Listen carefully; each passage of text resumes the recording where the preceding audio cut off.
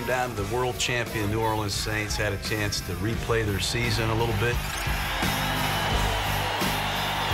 Get behind the scenes with Drew Brees, great quarterback, and Sean Payton, the head coach. Here we go on the hop, on the hop, on the hop. And they love tearing you up, man. They really seem to enjoy it.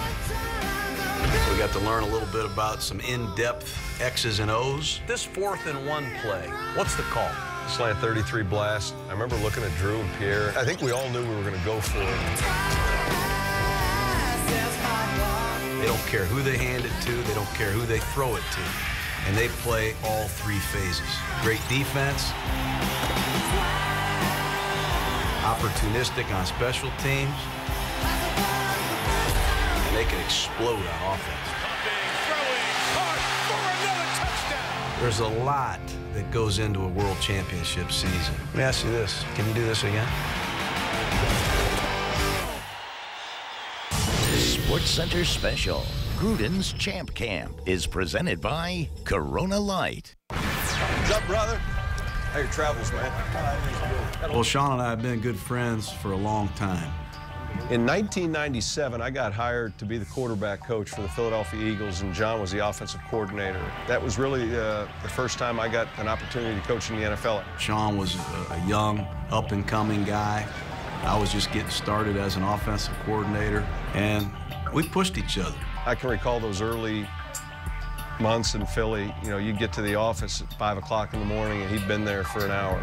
And now you're seeing, you know, how guys like Jon Gruden work at what they're doing. And you're exposed really to a lot of new ideas and thoughts. And so it became invaluable for me, uh, especially as a young coach. Well, I'd like to thank you guys for letting me come here. And we've been cutting up the Saints, man, for the last six weeks.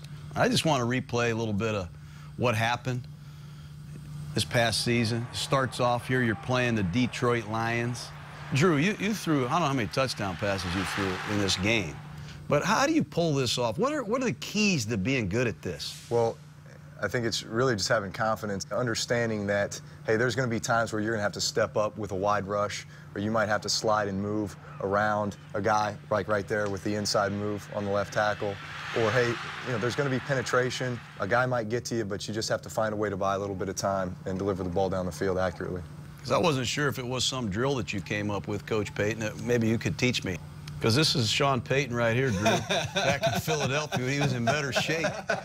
I thought maybe you were going back to your old school drills. Are you, are you chasing Brees around like you did in Philly? Is that, huh? is that Koy Detmer? I mean, look at look at the burst I had, Drew. Yeah. You know, but This is back when a lot of people weren't worried about our drills. when you guys go to Philadelphia now in week two, you see Ron Jaworski leading the Eagles out here. He's in his Eagles suit right here. One thing I noticed is their defensive backs were wearing masks. Is that because they were worried about getting shredded by you guys? Or have you ever seen a DB wear masks? Why did they do that? Were they just scared of getting gutted? It's a big fine, I know that. Because you guys really got after them up there uh, early in this game. But going to Philadelphia, Sean, your old team, early in the year, You know, it's an interesting place to play, and you and I have coached there as a member of the home team, and it's a passionate fan base. You know, when, when you take the bus ride in, and, and Drew will uh, remember this, I said, hey, seven or eight eggs are going to hit bus one before we ever pull up to the stadium. And then when those eggs fly and they hit bus one, the players look at you and they think, he's right. And he- he must be right with the game plan. And sure enough, we stroll off the freeway there, and you look over and you thought you saw maybe a seven or eight year old throwing one of the eggs. you don't know. after the game, you kind of like this Sharper guy. He's got two touchdowns in two games for you. You seem to like that. We, we, had, a, we had a little wager here uh, dinner in the city, anywhere uh, he wanted to go if he had a reception or interception for a touchdown. And I thought, I thought that was a pretty safe bet for me. And then right in the fourth quarter, you see him running one back. And so he's coming over to remind me he's got pretty good taste. What, what's he doing right here? Look at look at this guy. Still got a lot of friends in Philly, I Huh? guess. Was that the guy that was yelling at us? Remember he was booing us in 94? Hey, Gruden, if your IQ was one point less, you'd be a plant. I, I appreciate you finding that guy. Tell him to go home, man. Look This, at this was a game that was, was an important win for us. Look at this guy, will you? you want to beat someone that you feel is pretty good, and to do that early in the season, can do a lot for your team. And that win in week two, I think, after we had beaten Detroit, but that win in week two did a lot for our locker room. You go to Buffalo, and it's a tough place to play. I don't care what anybody says. It's tough to go up there. And then they fake a field goal on you, and they do it to perfection, and you're down on the road.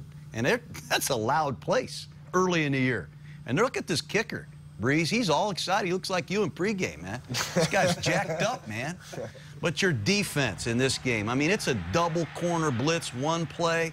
The next play, Jabari Greer reads the split, jumps a slant, causes a pick and the defense seemed to really start playing well and just winning on the road in general, Sean. I mean, that's huge early in a season. Yeah, you know, when you play the way we did defensively in this game, and we didn't score as many points as we wanted to in the first half, and we all felt like defensively we came up with the key stops, especially in the third quarter, that led to some turnovers and gave us field position. But this game to me was a turning point in the season because it almost looked like the running game became not only a viable option, but a real strength of the football team. It's almost like you're standing on the sideline, you and Kromer, and Kromer saying, hey, you know what? Sean, you called two running plays in a row for the first time ever. you know, I've never seen you call three runs in a row. We came up with some big plays. You see Pierre's, obviously, his big run. And it was probably latter part of the third quarter where we got these big guys going up front mm. and uh, took advantage a little bit of what we were seeing defensively. You got these quick guys, and they're all unselfish. You got Lance Moore catching it here, Colston there, it's Shockey. How do you pull that off? Doesn't anybody ever get mad that they don't get more balls? No, I, I, think what our guys understand, and Sean does a great job of this, is in every one of our game plans going into a game, each one of those guys has their opportunities. And they know that at any moment those could get called. And hey, at times they're going to be asked to run a clear out route to present an opportunity for somebody else. But other times, it's going to be their opportunity. But as you say, like Meachem right here, clearing this deep zone out, they got to have a lot of pride and a lot of at stake for the team to do that. A lot of guys know they're not getting the ball here and they take their edge off. But that guy's flying 4-3 right through a double zone, clears it out for Shockey. That's got to make you really feel good as a coach. The, the challenge I think each year we have and teams have is uh, it's a very unselfish game if you play it correctly, and yet sometimes we can all, uh, it can all become more complicated than that with contracts, uh, all the other things that go into it. And yet I think when our players hit the field. Uh, the biggest thing we talk about is just putting the team first, all of us. And, and if we can do that, then each week we feel like we have a chance. Coming up next. Coming up next on Gruden's Champ Camp. See what goes on in our pregame huddles. We are New Orleans! And why I owe a security guard an apology. That's cold, man. That's like in somebody's face, man. And it was the greatest game of our lives as we look back on Super Bowl 44. Sports Center Special. Gruden's Champ Camp is presented by Corona Light. It only gets better. Let me hear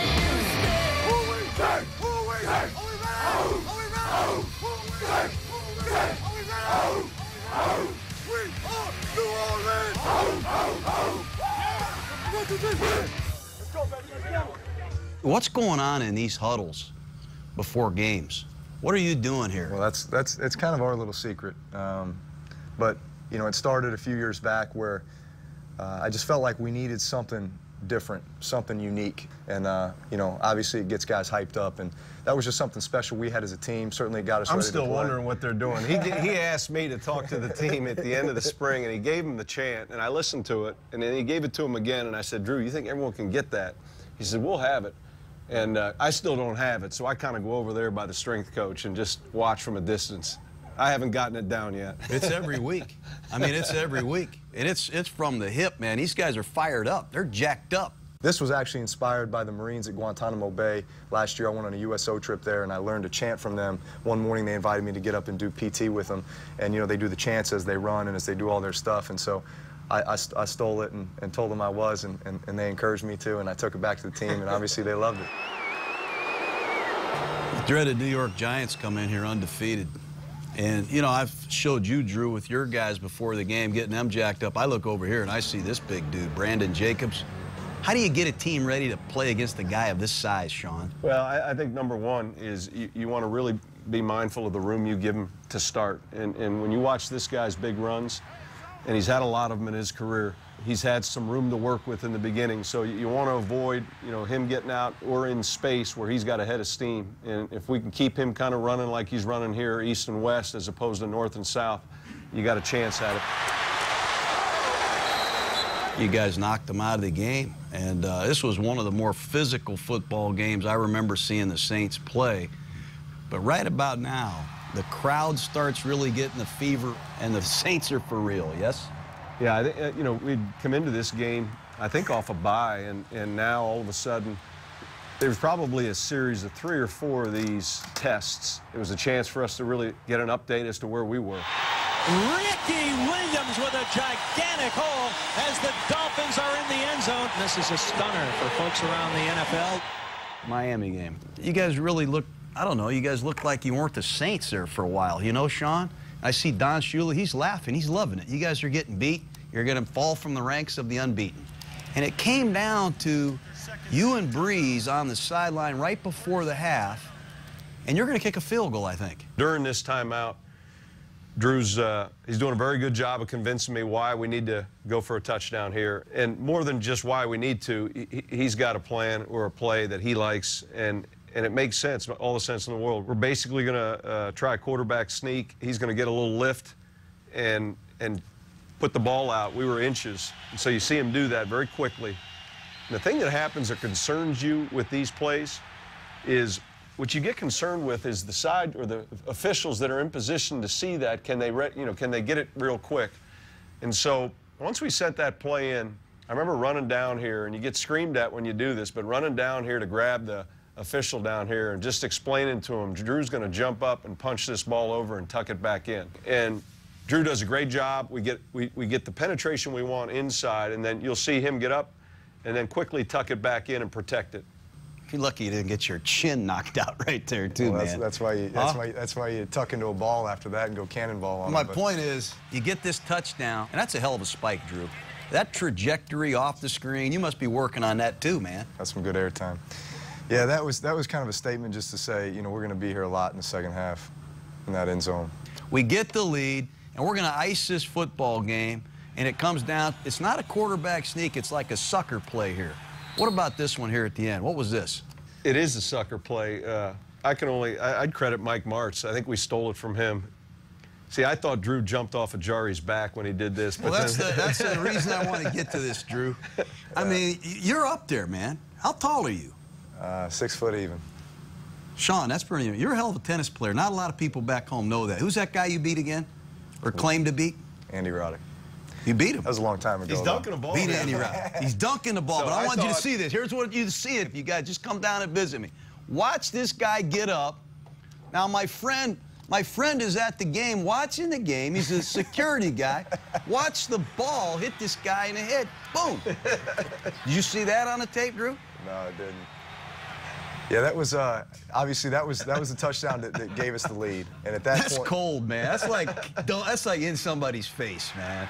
Are you aware of that? Be careful, man. Let's see what you're doing next year. what do you guys think of Monday Night Football? You guys, give me some Hey, on that. good stuff. Good stuff. Good first year. I have a, a thing I, I believe called the Jokers, and and they're players, they're football players, offensive guys that are good in any hand. You got a guy like Shockey that can line up over there as a wide receiver and make these back shoulder catches. You know, a guy that can handle the audible game and can run a slant route. I mean, that's a tight end at 260 pounds against the linebacker. And then I see him in there as a tight end. He's pass protecting, Drew. And then I look over here and you got Reggie Bush out here and you throw him a back shoulder fade. That's a running back making that kind of catch. Boy, you guys tick me off with all these jokers. You get those guys in space in one-on-one matchups, and, and they become a big-time matchup advantage for us. And uh, it's something that teams have to worry about where those guys are going to be, especially when you start uh, detaching them from the formation. I mean, look at these guys, Sean. They're like, hey, I, I don't got that joker. You got that joker. I know this. A smart coach once told me if I take one of these jokers and put him outside a receiver, I'm going to give the quarterback some information, man or zone. And I think when you put Shockey outside of an X, or you take Reggie Bush in your base offense and put him outside of a Z, then he's going to get some information right away. And if the big guys go out with him, it's probably man to man. And if the cornerbacks bump, it's probably zone. And, and to have just that man or zone principle down before a play ever starts is a tremendous advantage. Brees loads for a shot downfield for Meachem. Touchdown. Coming up next, I'm going one-on-one with Drew Brees. Was going undefeated the big goal at that time of the season? it was a big deal. I mean, how many opportunities do you have to go undefeated? Later on Gruden's Champ Camp. Let's go bunch right, 24Z drive H burst. This is where we lay the foundation, period. Welcome back to a Sports Center special, Gruden's Champ Camp, presented by Corona Light. Electricity and anticipation fill the Superdome. One of the games of the year. Tom Brady and the Patriots visiting Drew Brees and the undefeated Saints on Monday Night Football. Drew, the Saints are undefeated. You're getting ready to play the New England Patriots. Tom Brady, Drew Brees. First play of the game, you got Devery Henderson out on your left. You got Leigh Bodden over there in bump and run coverage. Is that an audible, or was that the game plan, or you have the freedom to just say, hey, I like this matchup and I'm going to air it out, or what? The plan was we're going to come out and we're throwing, you know, go routes outside, first play of the game. If it's not there, we'll check it down, but you know what? Aggressive. You know, and that was the mentality we wanted to come in with right off the bat, show them that, you know, it's going to be a long day. Brees pumping, throwing, caught for another touchdown. Five touchdown passes. I mean, the screen game, the double screen, wide check middle. Who calls that play? I haven't seen that play since 1980. Yeah, that, we've, we've run that play twice in my four years here, so it doesn't come out that often, but uh, it comes out when we feel like it can be a big play, and obviously it was. Saints are 13 and 0. You got the Dallas Cowboys coming to New Orleans. You don't know if Ware's going to play. Probably not going to play. guy's got a serious injury. Did that impact your preparation at all? Yeah, in hindsight, we uh, we did a poor job of preparing for the thought that he, DeMarcus Ware, might play. I mean, we felt like it was a 99% chance that he was not playing. And I remember seeing him, and he's dressed like he's ready to go. And I thought to myself, oh boy, sure enough, you know, every nickel pass rush situation he's in, and he ends up changing the game. Brees in trouble, hit from behind, drops the football. Cowboys cover it up, and that is it. That's the end of the Saints' winning streak. Was that crushing? Was going undefeated the big goal at that time of the season? Well, you know, it wasn't it wasn't everything, but it was a big deal. I mean, how many opportunities do you have to go undefeated? It was unfortunate, and they outplayed us, and we got beat. This is 13 and 1. My ex team, the Buccaneers, come the next week. And special teams, things go wrong. We lose a tight game. And then you go to Carolina. I looked over there in the sidelines, and you're sitting there, huddled up, cold with a jacket on. You're not playing. But you lose three straight games after this 13 0 start. And you've got a bye week to think about not winning a football game for a month as you enter the playoffs.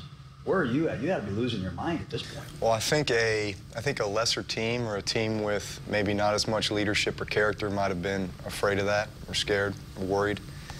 But I felt like we we had a plan. We have a plan in place as to our preparation and where we need to be when that team comes to town, end up being the Arizona Cardinals in the divisional playoff round. Coaches talk to their teams all the time. You're the coach. You're like Mick, Sean. You're talking to your fighter. what, are, what, are, you saying to your fighter before the, the playoff week? I mean, what are we getting our team ready to do? We've lost three straight games. Was there anything that you said to bring the guys back? I, I think this. Uh, I think at that point, after the three losses and then the week by, uh, everyone understands it's playoff football. Really, you know, it, it was going to be our first opportunity to play with this team in the postseason. But as you're like Drew Brees standing here in his suit, and Drew, you're, you, here comes the Arizona Cardinals. There they are, yeah. the defending champ. They're calling you out. They're coming to yeah. New Orleans. It's Kurt Warner. I mean, this guy is a Hall of Famer, if you ask me. This guy's coming, the defending NFC champion, walking into the Superdome for the NFC playoffs. What's going on here in your mind as you get ready to battle a, a guy like Kurt Warner in, in this stage?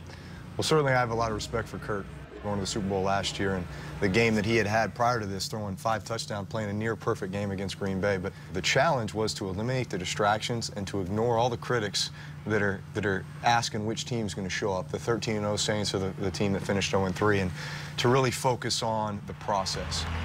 You do some really unique things. I mean, bringing Deuce McAllister back to bring you out of the tunnel. Then you got Reggie Bush carrying his baseball bat. What's the symbol of the bat and, and just the idea of bringing Deuce McAllister back, We, Sean? we, we signed Deuce that morning, and Mickey Loomis came into my office and said, hey, we're going to have him run out. Why don't we sign him to the roster? In the team meeting, I'll read through the transcripts and, and just kind of go through the course of business. And I said, you know, today uh, we put Rodney Leslie on injured reserve and we signed running back Deuce McAllister to the active roster. Players were excited. I said, the bad news, Deuce, is we got to fine you $5,000. You're overweight 20 pounds. he didn't like that. What's this baseball bat symbolize, Drew? What's this all about? If you could see what's written right below Saints vs. Cardinals, it says "Bring the wood," and that's uh, a little tradition that we started a few years ago. And um, really, it was the mentality that we have to win a fight before we win the game, so to speak. In other words, we have to be the most. If there's one thing we do when we leave the field today, it's to say that we were the most physical team, without a doubt. Each Deuce team, coming out of the huddle was planned, but the bat with Reggie, that was a little off the script. yeah, it's, it's really supposed to be something that's kept in the locker room. First play of the game, Sean. I mean, Tim Hightower goes on a 75-yard run, basically untouched. yeah, this, this you know, obviously, uh, you know, when something like that happens, the biggest thing that goes through your mind right at this moment is, man, are we going to lose our home field crowd? Because that is, uh, that's something that's like a punch in the gut for everyone. You know, fortunately, we, we bounced back here and, and began to get the hits we needed. And when you get these turnovers and these type of plays, I mean, the chances of you winning the game go way up. And, you know, here's a physical shot by Bobby McCray on Kurt. It's And, almost uh, like you just said, hey, you know what? We're going to knock these guys out. It had to feel really, as a football team, to put all three phases after losing those last three games and being idle for a week. There was some hitting going on in this game now. It was a bring the wood game, so certainly we knew what was at stake, and uh, we knew we were going to need our best game, and, and I felt like we brought it that day. This Gregg Williams, he's a piece of work, this guy, isn't he? Has he got enough blitzes in his game plan for you, or what? Do you guys have any base defense where you just rush for, or is it always a blitz? We're trying to figure out what Oh. base is. Reggie Bush, Sean. you know, this is the first time, really, in three and a half years that he's healthy going into the postseason. And then he has this opportunity here and uh, in a big game uh, to come up big for his team. And so the big return here uh, certainly is a, is a key pl- play for us in this game. He's got an earlier run uh, that he scores on right here. This is as good a run as he's made in, in a while. And then the flea flicker. Who calls a flea flicker in a playoff game, Drew? Well, who calls an, who calls an onside kick in the Super Bowl?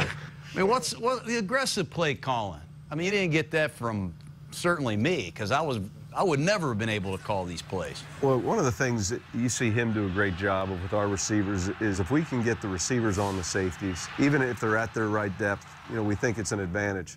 Uh, and and th- this is executed, you know, really at the right time by these guys. Uh, he's going to make sure, Drew's going to make sure that we get out of this play if we don't get the right look. And uh, he does a lot of that. So it really becomes somewhat of a conservative play call when you really look at it. It's only versus this, this, and this, and it's going to be complete or incomplete. What's it like for you to have a guy that can see something, change a play? Everybody gets the audible. Everybody knows who to block. And then you got a surgeon that just slices people up. Does that make you feel good at night when you go to bed, Sean? I sleep easier. Coming up next, an inside look at the NFC Championship game. What are you saying here? Just uh, how much respect I have for him. Later on Gruden's Champ Camp. They tell me you slept with the Lombardi Trophy for a week, man. Did you? I passed out next to it. I didn't sleep with it. Don't you think the football gods wanted to see Drew Brees against Kurt Warner, and then they wanted to see you have to beat Brett Favre to go to the Super Bowl? So what? I mean, are you are you nervous? Are you excited? Are you? Is this what's what's going on in there? When you're going into a game where you know that um, you have an elite player at the quarterback position on the other side, the challenge is to, as much as you can, not feel like you're competing against them. But at the end of the day, you certainly want to be able to walk away and say, you know, hey, I outplayed the guy or, or, or whatever it might be. I mean, I think the competitiveness in you, you can't not have that feeling a little bit. I remember you and I studying Brett Favre's scrambles. That was my first project he gave me. My first day in the office Monday, I came in and you asked me cut up every one of his scrambles. I mean, 2010, you're playing this guy, you kidding me, to go to the Super Bowl? What's, what's going on in your mind right now, Sean? You can't wait to compete against him, can you? Well, I, you know, number one, you just have respect for someone that you know is a Hall of Fame player, and at his age, to really have the season he had. You know, I told him I really didn't want to hug him. I, I had the flu, and he told me to go find Brad Childress. He said, go give it to Chili. and early in the game, Sean, Peterson again strikes first, and you're down on, you know, 7 nothing, much like you were the week before against Arizona. You know, the, the one thing a season that we had can provide you, and, and, and, a number of times we fell behind, and you gain a confidence uh, when you're able to come back and win one of those games. And so when it does come up in the postseason, week one, week two in the postseason, you're not out of a comfort zone. You're very comfortable with, and you understand the, the task at hand still. The key was you answered right away, Drew. And your screen game was phenomenal this year. But just talk about answering a score with a score. Yeah. And the fact that uh, the Minnesota defense had not given up an opening drive touchdown the entire season. To be able to answer and respond and basically say, hey, you know, we, we can score some points too, um, you know, that sends a message, and, and that's what we were able to do on that first drive. Talk to me about this play, Drew. This was huge. Yeah, well, you know, this is a, a critical third down. Um, you know, we're trying to tie the game uh, in the fourth quarter, and they end up dropping a defensive tackle. So three-man rush, drop eight. You know, that's a lot of bodies in the end zone. So uh, tight windows to throw the football. You know, I, I, know that I have time. End up having to scramble because they've got everybody covered. Reggie is able to leak out to the flat, get open, and then uh, makes a great play. Well, they have statistics for everything now that I'm an analyst, I get all the stats. and Jaworski's a big stat guy. Mm -hmm. But your statistics with the red flag are not good. Awful. I mean, not good. Awful. So now I see you coming down. You got that red flag. And your percentage of winning on these red flags Beth says my kids, my kids do this when I take the red flag. oh, Connor and Megan. But you know you got something now. Is someone telling you to challenge it, or are you just saying, "Man, I got it"? I got my I'm, I'm one for 10, one for 14, but I'm, I'm going to throw it anyway. What's get, going through your mind right here? Uh, I'm, I'm listening more upstairs, but I, I, think the one thing that happens in these games in the postseason is you get 10 more camera angles, 15 more camera shots than you do for a regular season game. Fortunately for us, there, there were enough of those angles, and one of them had come up upstairs where clearly he had gotten in and scored you know, I always feel like I'm confident throwing that thing and. and uh, you didn't throw this. You ran all the way down yeah. and gently laid it down there. But I'm listening still. You're trying to do uh, uh, superstition there? Look at you. I think that the feedback's good. The receiver broke the plane of the goal line.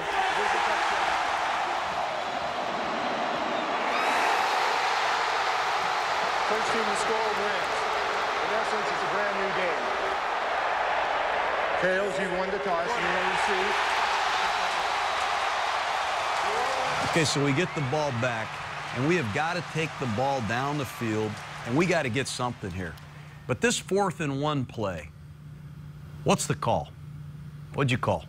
Well, I think it was uh, slant 33 blast. Uh, I, know this. We spent some time on the sidelines because there was a clock stoppage before, and I remember looking at Drew and Pierre and everyone, and, and we had enough time to look at each other and say, I, th I think we all knew we were going to go for it. But they came out in a 6-2 goal line, didn't they, Sean? Yeah. You know, the one thing that happens in this play that a lot of people don't see is the contact that gets made here really forces the ball to kind of come out of Pierre's initial grasp, but he's able to regain control of it and really just get the yard, but it's close. And it sets up play action. What'd you think of this call, Drew? PI? Yeah, he doesn't have his head around. If I was coaching, they wouldn't have called that. I wouldn't have got that call. We get the big play in here to Meachem. And we're going to bring out our young kicker. Remember, about four weeks ago, he missed a kick to lose the game. He had a chance to, to ice somebody, right? Yeah, right about the same spot against Tampa. And then, what, what are you thinking here? I mean, you two guys. You got to. Uh, it's going to come down all this work to a young guy that we rarely we, we rarely got to see kick during the regular season. I mean, are you a basket case or what? I feel like had Garrett Hartley not gone through what he went through in that Tampa game at the end of the season where he missed that kick, then he would not have been able to step out there and, and make this one. I think sometimes you have to go through uh, those times where you know it doesn't work out, maybe you fail. Um, it gives you a little bit of a mental toughness edge that, that, that he now had uh, for this kick. I know this, we're feeling a lot better now than we were about two minutes ago when they had the ball on our 32-yard line. yeah, I bet you do.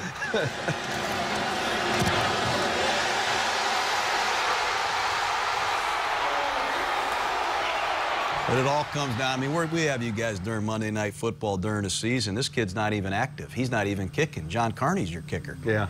And now you got a chance to go to the Super Bowl, and darn if he doesn't put you in the Super Bowl, uh, Hartley.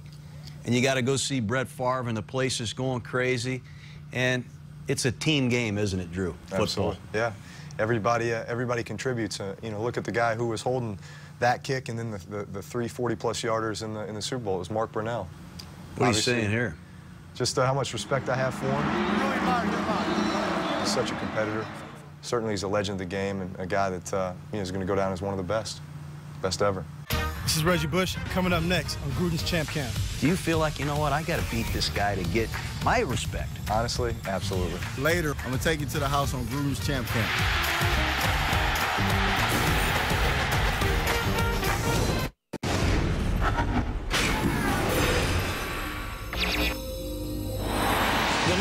Seeds of the AFC and the NFC meeting for the first time in 17 years. It is New Orleans' favorite son against New Orleans' favorite team. This is a wonderful day to be a Saints fan and a New Orleanian. You guys are going to the Super Bowl. You go up against this guy right here. This, this has got to be one of the thrilling times of, of your life to go up against not only Peyton Manning, you got to go up against Archie Manning, Eli Manning, all these Mannings right? Right, right. I mean, they're from New Orleans. Heck, they basically sure. sure. own New Orleans, don't they? Right. Do you feel like, you know what, I got to beat this guy to get, I got to get what, what I, what I deserve, my respect. Was there uh, any of that? Honestly, absolutely. Yeah. Yeah. yeah um, I mean, I, I, think you always have to have the mentality that you are. Um, you have to prove yourself every time you step on the field. Winning a Super Bowl is is the essence of our sport. It's, it's why we play the game. And it's also, at the end of the day, the way that you're evaluated as a head coach and as a quarterback. But uh, I knew for me and for my team, we had to win that game. Last word, Sean, you and Drew before the game. You know, there's always the look you get from a player, and, and you know what? That's, it's one of the things that I love seeing with him because it's consistent. It's, you know, it's right in your eye. And, you know, he's prepared all his life for this moment. When I got into Super Bowls a long time ago, every play that made the game plan, I agonized over it. Oh God, that's a good one. That's not good enough. I got to have a little better formation. I, oh, I just, it's, you know, I agonized over it. Did you agonize over what made the game plan for the Super Bowl? Yeah, I, I think that, uh, yes, to answer your question, yes. That final night for each situation when you say, all right, print the list, it's done you're always, I guess, feeling that you're leaving something out, maybe something that you need, and so you're looking all week. And uh, once it was laminated, that was Parcells' thing. Once he laminated it, you couldn't change it. So once we laminated a play, it was in. But uh, I think it's that thirst for just having the perfect plan, and it, I don't know that it ever exists really. It just sits out there. Manny strikes first. You had some injuries in the secondary. Some guys came out or something, didn't they, Sean? Two things happened. Randall Gay was fighting a flu and was in and out of the game. And then uh, Jabari uh, was out for a period of a few plays, and this happened in the first quarter. Usama has been playing safety for us, had to get snaps at the corner position, then went back into the safety position. So, uh, you know, our guys were able to fight through that. Big field goal right before the half. Huge momentum change. Talk about that. The significance of it really was we had just had an opportunity to score, and, and we went for it down on the one yard line, and we weren't able to score. Uh, defensively, we held them to a three and out, and we were able to get the ball back with some time on the clock and, and really give ourselves a chance to come away with the field goal. Coming up next, how an onside kick changes Super Bowl. I just want to know when the brainstorm happened that you decide I'm going to do an onside kick to start the second half in the Super Bowl. You are watching a Sports Center special, Gruden's Champ Camp, presented by Corona Light.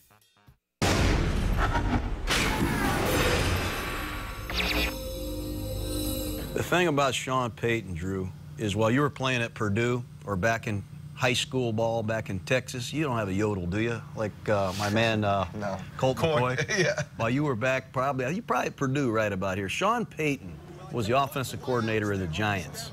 And the one thing about Sean is he's always had a play for every situation. I remember you're going to lose to Philadelphia.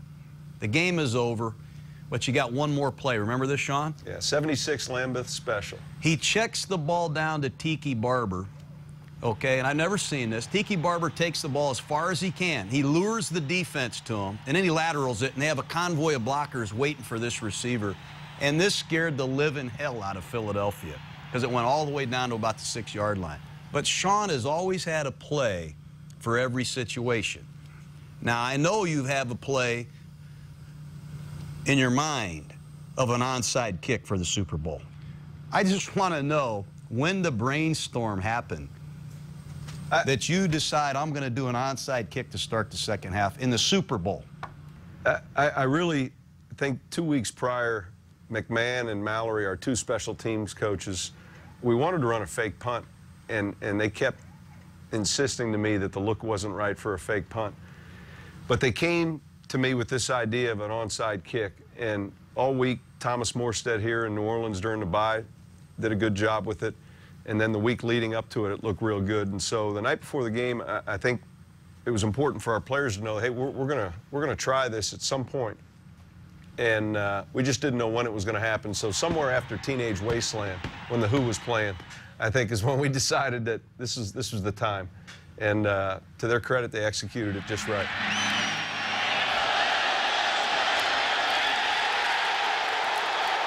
A lot of guts to call that. That might have been the gutsiest call ever. And I've said this, and I think Drew would know this. If, if we knew it was going to be a 10-minute scrum, we'd have never called that. we expected it to be a clean fall on it, our ball. You get this screen, and you get the lead, and the clock continues to tick, and every call now becomes critical. And Addai comes back and makes an unbelievable move in the hole to score. And it's a heavyweight fight. You're playing for the world championship. You're in Miami, Florida, and it's Drew Brees, then it's Peyton Manning. But you guys get the ball down here, Drew. And I don't know if this is a running play. You just picked it up and fired it out there to Shockey. But this was huge. What was this play? That's a pass. It's a design pass play, but it's uh, you know you put Shockey out there, big body. Um, you know really, he's you know it's zone coverage where he's almost getting bracketed, but you know we like the leverage. You know corners outside leverage, so there's that lane to just fit one into the big man and then let him run somebody over. You know the safety's going to be uh, getting over there quickly, but that's just one where you feel like you, you get the ball in that guy's hands and, and he will not be denied. He's going to get in the end zone for you. When you throw this ball, do you have the laces? Uh, sometimes you don't. Uh, I'm not sure if I did on this one in particular, but you know you're trying to get the ball out of your hands so fast and just put it in their chest so that they can catch it, protect it, because you know they know they're going to get hit, but it's worth the touchdown. I can tell you that. Sean, we're going for two, right? Yeah, you know, we're, we're far enough into this game where, you know, normally uh, it wouldn't be till the fourth quarter we'd pay attention to the chart, and we're into the fourth quarter here. I think when you're watching it from the field, I think all of us thought, man, he probably didn't have it long enough. It probably wasn't complete. And uh, like you alluded to earlier, I'm starting to pay attention more to the guys upstairs rather than my instincts. And I'm waiting, and Curtis Johnson comes over and says, hey, they've got it. I'm just saying, throw it, throw it. Yeah, we got it. Now you're trying to explain to him what you're challenging. He's crossed the goal line, and then it's kicked out. When you look back on the replay, the rule is you have to have possession, right? Mm-hmm. Throughout the entire act. And I guess he's got possession, there. but you see the corner Lacey kicks it out of his hands. But that was the that was the key. After he, you saw his shoulders go to the ground and, and stabilize the ball. But for Sean Payton to win two challenges down the stretch is not good for the rest of the NFL. And if you're going to win challenges, that's you're a real problem. And now it's it's back to Manning and, and Tracy Porter, Drew. I mean, this guy, second year players, had some injuries, but when he's healthy, this is a shutdown gamer. Talk about Tracy Porter and what happens on this play. Well, you know, he, he obviously was the one who, who intercepted Brett Favre at the end of that Minnesota game to send it in OT. Um, came up with, you know, two huge plays. But you know what this is right here? This is, this is film study. This is practice, you know, just looking at tendencies. And he just did a great job of anticipating that inside break uh, by Reggie Wayne and made the jump, got the pick, and, and, and he's got the speed and athletic ability to take it to the house, and, and that's what you want at the DB position. Good ball skills and then the ability to do something with it after that. I mean, Sean, you got to be feeling pretty good right now. You got an onside kick. You got the lead, and, and really, you're going to win the Super Bowl. You got to be feeling pretty good. Like you might be going to Disney World or something right here. Well, I, Huh? I, I think this, it's in the fourth quarter, and, and we're going to come back on the field here with about three minutes. But you do finally get a breath because you go up 14. Because now, even Mr. Meacham's up there fired up. He don't care. But you guys are feeling it. You guys are on the way. The first Super Bowl in the history of the New Orleans Saints. And when you went to this three-man rush and you stymied them and you shut them down here at the end, then you can start to celebrate. And the Saint fans, do you have any idea what it must have been like on Bourbon Street right after that play? I was on Bourbon Street last night and they're still celebrating. I mean, Uh, I, I think uh, I think all of our players, everyone, uh, certainly has gained an appreciation for what it meant for the fans here. You know, because what happens at, at this point, we're going to take a knee, and, and it wasn't really until they didn't use a timeout that it really dawns on you, and then you realize the significance of it, and it never really slows down after that. It's, it's like nothing else, and uh, you know, I think when when the game had finally ended and we, we got on the bus to go back to the hotel, that half hour bus ride where we just sat and talked and reflected, and you knew that it was going to be the last time as a team you were together. Uh, I mean, look at that. That says it all right there. is that good stuff? That's what it's You know, all somebody about. asked me the other day, they said, when are you going to come back and coach? They say, hey, Gruden, you going to come back and coach? I said, yeah, when this Brees gets to be about 13 or 14, I'll be out there. Yeah, we'll see what we can do. How good is that for you here? Nah, that's the best. That's what it's all about. Uh, you know, I, I dreamed about that moment, obviously, for a long time. And to, uh, to have my son be a part of that was very, very special. It's an incredible thing. And you get the Lombardi. They tell me you slept with the Lombardi trophy for a week, man. Did you? I passed out next to it. I didn't sleep with it. It's phenomenal. Our group's had a lot of fun with it. You know, the people in this city, and recently we're down to that, that area that's been affected by the oil, and, and you know, it just represents maybe all that's good about what we do in our sport. You know, winning a, a Super Bowl, and uh, you know, about a month and a half later, I was coming back from a vacation, and our flight went over this stadium, and I, I text Drew. I said, "Hey, I'm- just flying over. I don't know what the name of the stadium is anymore. Landshark, Joe Robbie, whatever. But I'm flying over it, and you couldn't. You know, you'll always remember that stadium for that game, for that night, for that moment." 2009 is over. Over. We're going to take you into this year's Saints team. Let's go, let's go, let's go, let's go, let's go. You guys gonna have to make a play in special teams this preseason just to have a chance. Coming up next on Gruden's Champ Camp.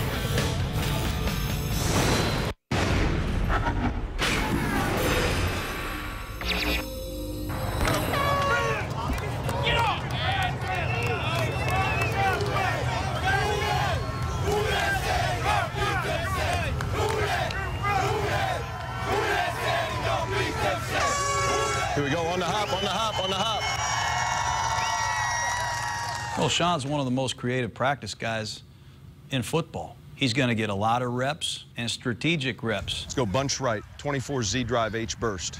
X sluggo stop Z seam. Good.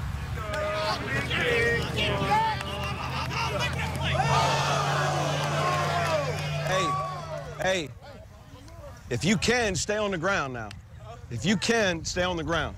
You jump in the air, everything's frozen, right? This tight end they drafted out of Miami, number 80. Uh-huh. This Graham kid is a very interesting guy. Played basketball for the Hurricanes, one year of football. About 6'7", 270 pounds. He runs like a deer. Hey, uh, get him out of the huddle. Just kind of breaking out, you know, walking up. Let's get after him a little bit. Fox right F motion. Get a good break. I'm going to bring you back if we don't get out of the huddle the right way. Goody. Goody. Let's get him out of the huddle now. Got him meandering out of the huddle, Carl. You're one of the worst offenders. Back in the huddle. Back in the huddle. Let's go, man. Let's go. Let's go. Let's go. Let's go. I hate the way it sounds. Let's go. Work that way. He's a situational football coach. You'll see short yardage, goal line. They practice the last play of the game where the quarterback takes a knee. Good. 12 yards deep. Best play of the game. You know that? The only thing better is when they don't lose their, they don't use their last time out. They say no mas. Pretty good tempo. First time carrying our pads. Not bad. I said last night in the meeting though, you know, it's not the bring the wood bats or the guest speakers or the t-shirts. That gets written about. This is where we lay the foundation. Period. Period. Let me ask you this. Can you do this again? Can you do it again? Absolutely. I mean, we won the Super Bowl. We didn't make the playoffs the following year. Pittsburgh Steelers, they win. They don't make the playoffs last year. How do you do it? I think the first thing you have to do is just recognize those that came before you and just how difficult it is to make it back to that game and have an opportunity to win it again. And, uh, you know, learn from others' mistakes. And we need to get better in order to do this again. We can't just, um, you know, be what we were last year. You know what? Um, last year was special. It will always be with us. Uh, that team is linked together forever. Um, but the fact of the matter is, you know, we're, we're not done here. And we have a window of opportunity. And I feel like we've got the right right pieces in place. We have the right people in, in, in this building to do this again, but um, it's not going to be easy. Those headsets are adjustable. Are they? They're, they can get a little bigger for next year. Yeah, right.